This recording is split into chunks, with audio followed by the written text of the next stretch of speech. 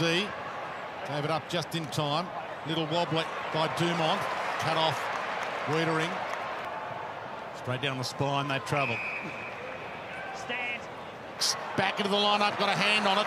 Knocked it to Weitering. And now Cottrell might be out here.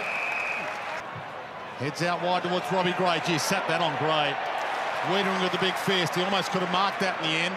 To make here the Port Adelaide senior call list. Fight their way. Step played on. Pulls the kick, top of the square. Touched. Powell-Pepper. Didn't get a foot on it in time.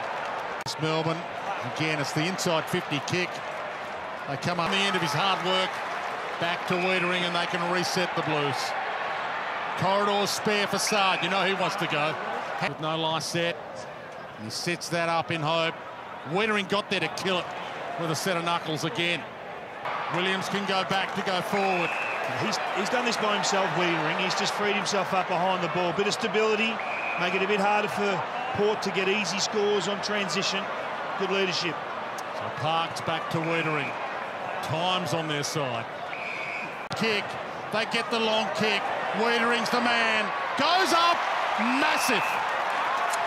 He's the one. He's the loose we keep talking about. They need to man him up. Port Adelaide will lose this game if they allow Weitering to roam across the half-back flank unattended.